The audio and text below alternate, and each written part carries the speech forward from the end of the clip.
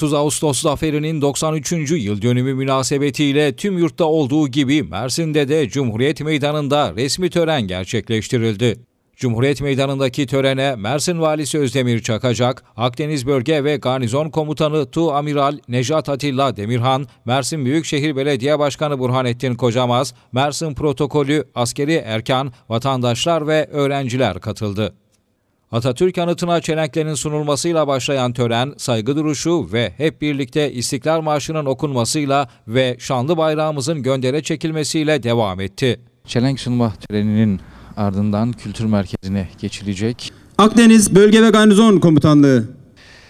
Kültür merkezindeki tebrikat töreninin ardından tekrar Cumhuriyet Meydanı'na dönülecek. Vatandaşların, askerlerin, öğrencilerin ve gazilerin, askerlerimizin bayramı tebrik edilecek. Mersin Büyükşehir Belediye Başkanlığı. Büyükşehir Belediye Başkanı Sayın Burhanettin Kocamaz tarafından Atatürk anıtına sunuluyor değerli seyirciler. Kutlamalar devam edecek ama tabii ki ülkemizde yaşanan son olaylar da şehitlerin anısına şölenler bölümü iptal edilerek resmi düzeyde gerçekleştiriliyor. Ardından Mersin Kültür Merkezi Şeref Salonu'nda Mersin Valisi Özdemir Çakacak, Akdeniz Bölge ve Garnizon Komutanı Tuamiral Nejat Atilla Demirhan ve Mersin Büyükşehir Belediye Başkanı Burhanettin Kocamaz tebrikleri kabul etti. Tebrikat töreninin ardından Cumhuriyet Meydanı'nda devam eden törenlerde Mersin Valisi Özdemir Çakacak, Akdeniz Bölge ve Garnizon Komutanı Tuamiral Nejat Atilla Demirhan ve Mersin Büyükşehir Belediye Başkanı Burhanettin Kocamaz, Mersin protokolünün ve katılımcıların bayramını kutladı. Tören aracıyla yapılan bu Bayramınız kutlu olsun. kutlamanın ardından Törende Deniz Yüzbaşı Suat Gökçeer Gökmen, milli mücadeleyi ve sonunda kazanılan zaferi anlatan bir konuşma yaptı.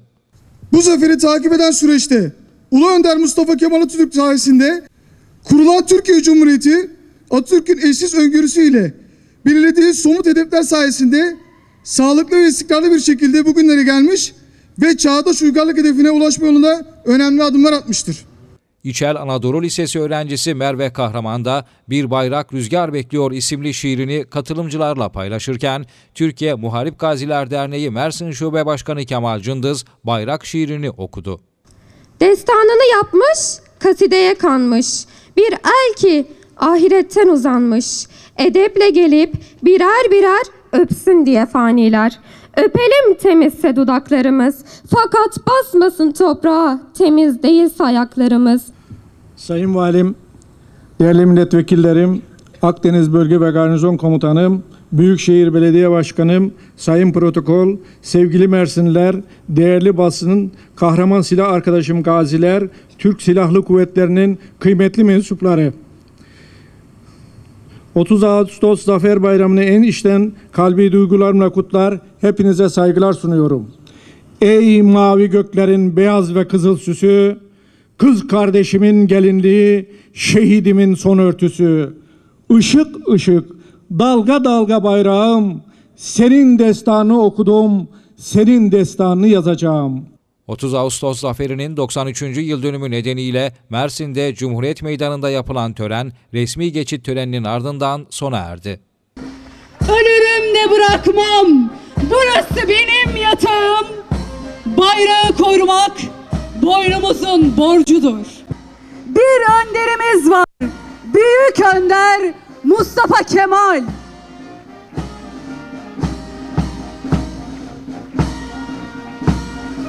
Bu toprağın bağrında bir coşkun çağlayanız. Dağdan dağa atlarız, coşar, coşar gürleriz.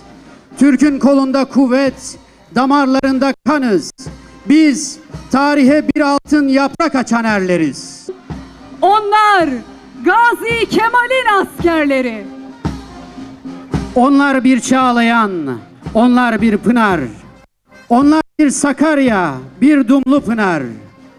Onlar Kocatepe, yıkılmaz Hisar. Onlar Gazi Kemal'in askerleri.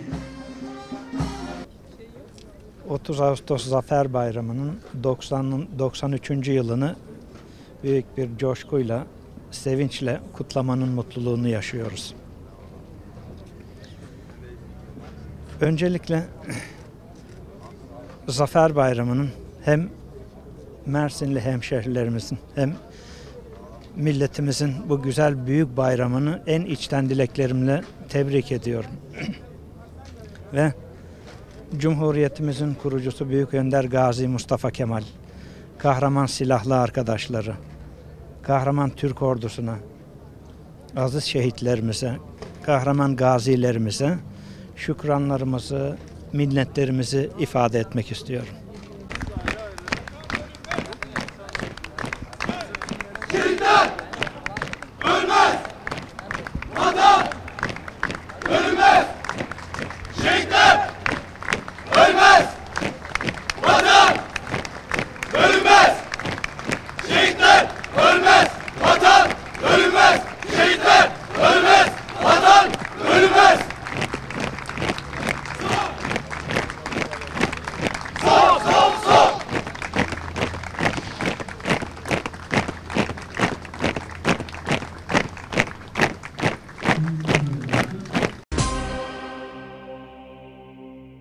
Mersin'de Cumhuriyet Halk Partisi 30 Ağustos Zafer Bayramı dolayısıyla alternatif kutlama düzenledi. Cumhuriyet Meydanı'nda düzenlenen 30 Ağustos Zafer Bayramı kutlamalarının Mersin Valiliği tarafından organize edilen resmi bölümüne katılan CHP'liler törenin ardından Cumhuriyet Halk Partisi Mersin İl Binası önünde toplanarak Cumhuriyet Meydanı'na kadar yürüdüler. Dev Türk bayrağıyla yürüyen grup meydandaki Atatürk anıtına çelenk sundu, saygı duruşunda bulunarak İstiklal Marşı'nı okudu. Cumhuriyet Halk Partisi Mersin İl Başkan Yardımcısı Mehmet Avcı, CHP lideri Kemal Kılıçdaroğlu'nun mesajını okudu. Sayın Belediye Başkanım, Sayın İl Başkan Vekilim, Sayın Genel Başkanımızın, değerli partili arkadaşlarım, değerli yoldaşlarım, STK'ların, sendikaların ve e, bize destek veren tüm arkadaşların hepimize hoş geldiniz diyorum. Ve Cumhuriyet Halk Partisi Genel Başkanımız Sayın Kemal Kılıçdaroğlu'nun 30 Ağustos Zafer Bayramı ile ilgili yayınladığı kutlama mesajını sizlerle paylaşmak istiyorum. 26 Ağustos günü başlayıp Başkomutan Mustafa Kemal'in komutasında ordumuzun 30 Ağustos günü zaferle sonuçlandırdığı Büyük Taarruz Meydan Muharebesi Cumhuriyetimizin kuruluşunun en önemli aşaması olmuştur. O gün din, dil, ırk, mezhep ayrımı yapmadan bir araya gelen Anadolu'nun kahraman evlatları, işgalci düşmanı ve işbirlikçilerini vatan topraklarından atmış, bağımsızlığımıza el uzatanlara gereken cevabı vermişlerdir. Eşit yurttaşlık ilkesi çerçevesinde oluşturduğumuz bu cumhuriyetimizi, birlik ve beraberliğimizi geçmişte olduğu gibi bugün de bozmak isteyen şer güçler bulunmaktadır. Ancak bunlara karşı 93 yıl önce nasıl mücadele ettiysek bugün de aynı azim ve kararlılıkla mücadele ediyoruz, etmeye devam edeceğiz. Bu duygu ve düşüncelerle şehitlerimizin kanıyla yazdığımız bu büyük zaferi kutluyor. Zaferin ve yurdumuzun ebedi başkomutanı Mustafa Kemal Atatürk ve silah arkadaşlarını saygı ve minnetle anıyorum. Kemal Kılıçdaroğlu, Cumhuriyet Halk Partisi Genel Başkanı.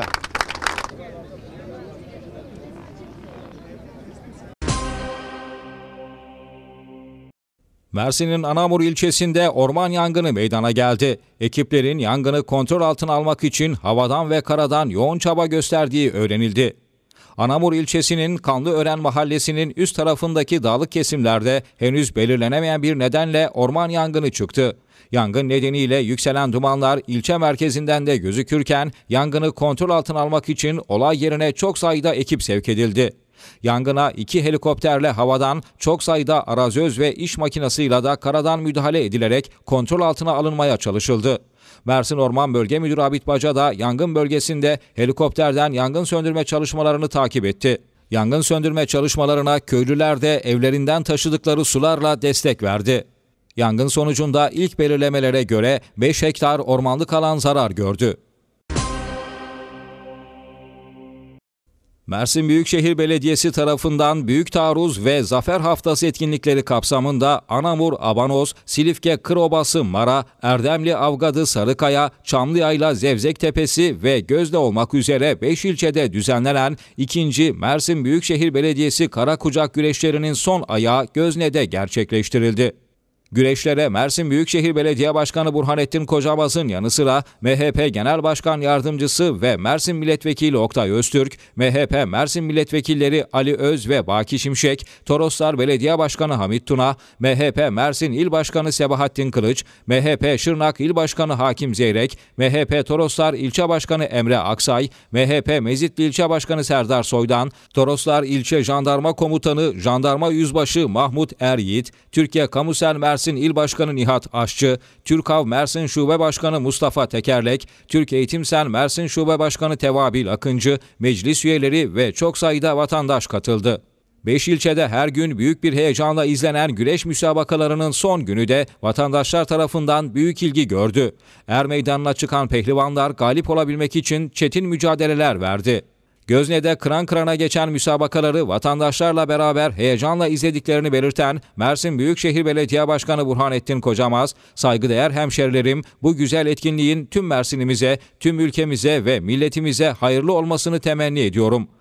Bu meydana çıkan, ter döken bütün pehlivanlarımıza sizler adına teşekkür ediyorum. Hakemlerimize ve federasyon temsilcilerimize teşekkür ediyorum. Müsabakalar boyunca gerçekten güzel güreşler izledik. Kıran kırana heyecan dolu müsabakalar gördük. Kara kucak güreşleri boyunca ter döken güreşçilerimize de başarılarının devamını diliyorum diye konuştu.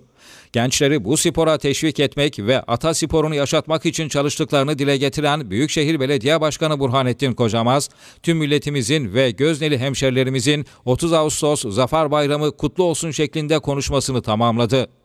Türkiye Federasyon yetkilileri 2. Mersin Büyükşehir Belediyesi Karakucak güreşlerinde kendilerine ev sahipliği yapan Mersin Büyükşehir Belediyesi'nin muhteşem bir organizasyona imza attığını dile getirdi.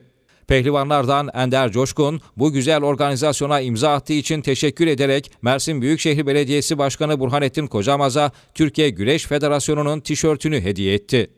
Yine Güreş Federasyonu Mersin İl Temsilcisi Metin Ercan, Başkan Kocamaz'a spora ve eğitime vermiş olduğu katkılardan dolayı Özgecan Aslan Eğitim Bursu hesap makbuzunu verdi.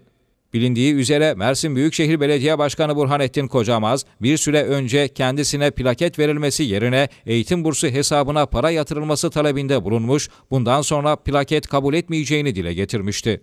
Yapılan çekişmeli güreşlerin son gününde baş pehlivanlardan Rıza Yıldırım birinci, Halil Hopur ikinci, Eren Turan ise üçüncü oldu. Pehlivanlar ödüllerini MHP Genel Başkan Yardımcısı ve Mersin Milletvekili Oktay Öztürk'le Mersin Büyükşehir Belediye Başkanı Burhanettin Kocamaz'ın elinden aldı.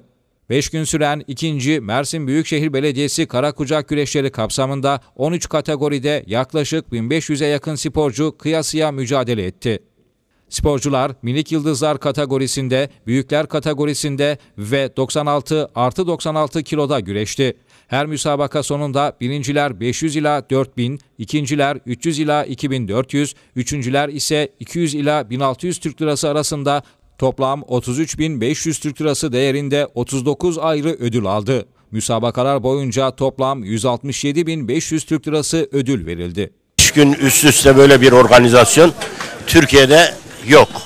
İlk defa Mersin'de gerçekleştiriliyor. Gerçekten sporcular bütün varlarını yoklarını bu çimlere koydular. Yüreklerini koydular ve çok e, güzel müsabakalar izledik. E, tabii ki sayın milletvekillerimiz, genel başkan yardımcımız, bütün belediye başkanlarımız bu konuda e, katkı koydular, destek oldular ve bu güzel organizasyon kusursuz bir şekilde gerçekleşti.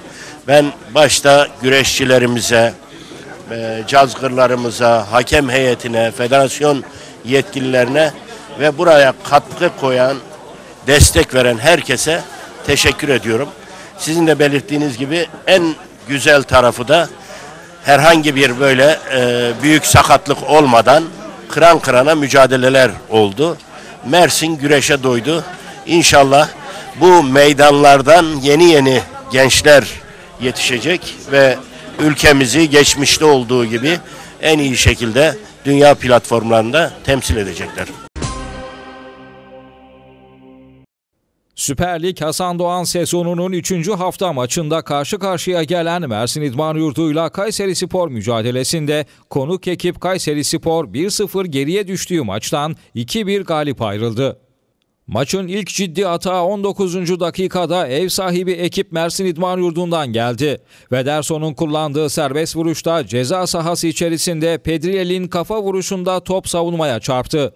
Savunmadan dönen topa Velit'in vurdu. Etkisiz vuruşta top Nakulman'ın önünde kaldı. Nakulman'ın vuruşunda top avuta çıktı. 33. dakikada Kayseri Spor orta sahada kısa paslarla Mersin ceza sahasına kadar geldi. Burada Ömer'in pasında topla buluşan Diego vuruşunda topu avuta gönderdi. İlk yarının 37. dakikasında Kalili'nin vurmuş olduğu frikik atışı az farkla avuta çıktı. 43. dakikada Murat Ceylan'ın derin pasında topla buluşan Velit'in ceza sahasına kadar girdi. Kaleciyle karşı karşıya kalan Velit'ine Hakan Arıkan izin vermedi. Maçın ilk yarısı 0-0 sona erdi. İkinci yarının 48. dakikasında Vederson'un kullandığı serbest vuruşta rakip savunmasından seken topu önünde bulan Velit'in düzgün bir vuruşla takımını 1-0 öne geçirdi. 58. dakikada Mersin İdman Yurdu'nda Vederson'un kullandığı korner atışında Pedriel topa kafa vurdu ve top avuta çıktı. 66. dakikada Nakulman'ın pasında sağ kanatta topla buluşan Oktay Delibalta ceza sahası çizgisinde düzgün bir vuruş yaptı ve top kaleci Hakan Arıkan'da kaldı.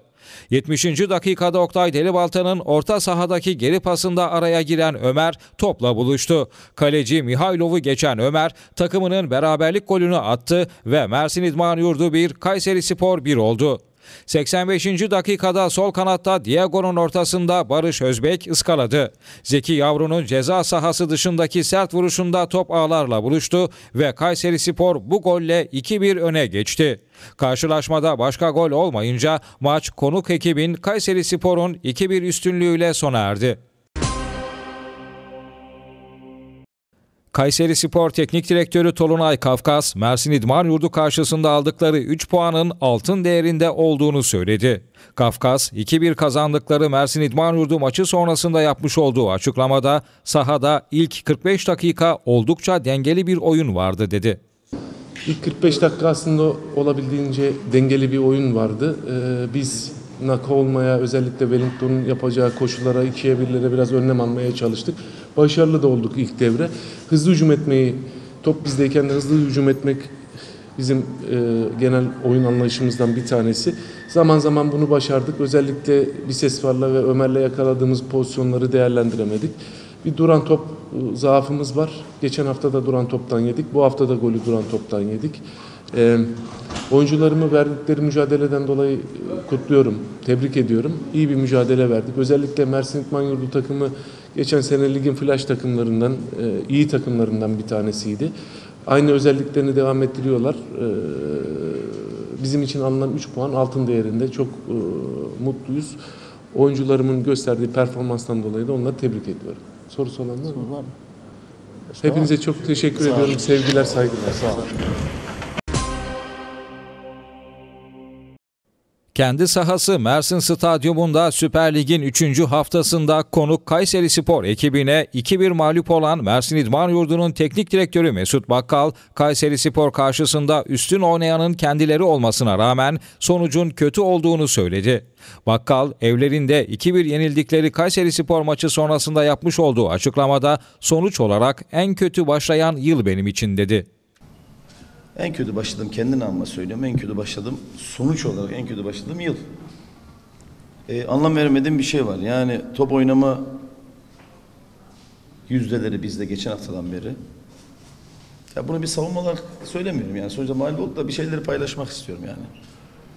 Ee, tam iyi oynadığımız, tam oyunu ele aldığımız e, bir anlamda. Aynı Akisar maçı oldu ama hiçbir oyuncumu zaten suçlamadım. Suçlamak da istemiyorum zaten. İnanılmaz geriye koşuları vardı. E bir geri pastan bir gol yiyorsunuz tabii. Sonra anlam veremediğimiz bir gol daha. Ya tam attık atacak derken yani şöyle Serkan'dan, savunmadan tabii bakıyorum ileriye kadar herkes bir şeyler yapmaya çalışan bir takım.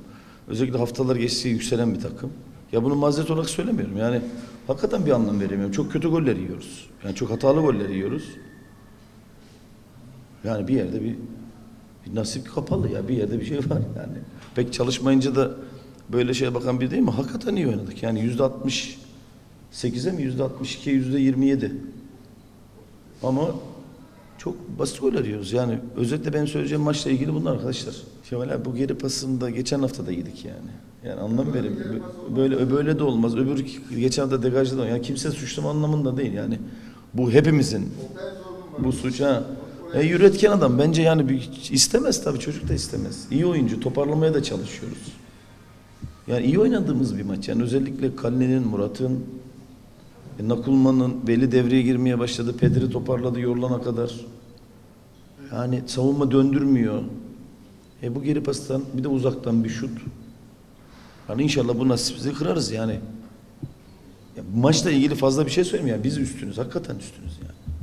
Ama bu benim savunmam olabilir mi? Sonuç kötü tabii yani. Başka soru varsa alayım arkadaşlar. Var mı? Sorusu olan var mı? Yok. Hadi kolay gelsin. Mersin Büyükşehir Belediyesi ve Mersin Akdeniz Masterları Atletizm Spor Kulübü işbirliğiyle düzenlenen 30 Ağustos Zafer Koşusu gerçekleştirildi. 12 kilometre uzunluğundaki parkur Ayvagedi Karatepe Gözetleme Kulesi'nden başlayarak Gözne Meydanı'nda son buldu. 32 büyükler, 17 küçükler olmak üzere toplam 49 sporcunun katıldığı koşuda sporcular dereceye girebilmek için yarıştı. Gencinden yaşlısına kadar birçok kişinin koştuğu 30 Ağustos Zafer Koşusu'na 5 ve 81 yaş arası sporseverler katıldı. Zafer koşusunda küçük sporcularsa 800 metrede ter döktü. Koşuda yaş gruplarına göre dereceye girenlere madalya ve para ödülleri takdim edilirken 30 Ağustos Zafer Koşusu'na katılan tüm sporculara katılımlarından dolayı hatıra madalyası verildi. Türkiye Cimnastik Federasyonu tarafından Mersin'de düzenlenen Türkiye Şampiyonası sona erdi. Mersin Cimnastik Salonu'nda düzenlenen şampiyonaya Türkiye'nin dört bir tarafından ritmik, trambolin ve aerobik branşlarında 250 sporcu katıldı. Şampiyonada erkekler ve bayanlar yıldız, genç ve büyüklerde dereceye giren sporculara Türkiye Cimnastik Federasyonu Başkanı Suat Çelen ve protokol üyelerince madalyaları verildi. Çelen, şampiyonanın ardından yapmış olduğu açıklamada federasyonun yarışmacı branşları olan aerobik, ritmik, artistik ve trambolinde bayan ve erkekler yıldız, genç ve büyükler Türkiye Şampiyonası'nın sakatlık olmadan tamamlandığını söyledi. Çekişmeli müsabakaların yaşandığını belirten Çelen şöyle konuştu. Özellikle milli takım düzeyindeki sporcularımızı takip ettik ve onların performansları bizleri mutlu etti. Artistik jimnastikte erkekler ve bayanlarda olimpiyat yolunda olduğumuzu adım adım gözlemliyoruz. Bu bakımdan da bizim için verimli bir şampiyona oldu. Zaten Mersin'deki bu salon Türkiye'nin belki de Avrupa'nın en elverişli salonlarından biri. Burada olmaktan gerçekten mutlu olduk dedi.